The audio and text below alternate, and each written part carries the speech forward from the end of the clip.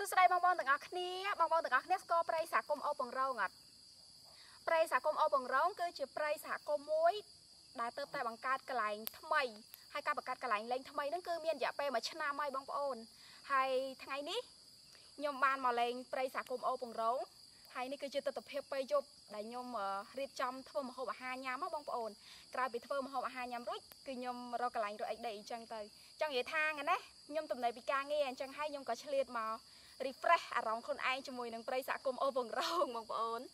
ហ្នឹងហើយបងប្អូនចង់និយាយថាតំបន់កំសាន្តកន្លែងនេះគឺថា refresh ខ្លាំងមែនតើពីព្រោះថាកន្លែងនេះគឺពោពេញទៅដោយព្រៃឈើហើយនឹងមានទឹកអូរឡើងត្រជាក់មែនតើសម្រាប់បងប្អូនដែលទំនេរពីការងារអាចមកលេងកន្លែងនឹងបានណាបងប្អូនដើម្បី refresh អារម្មណ៍ទាំងអស់គ្នា Goodbye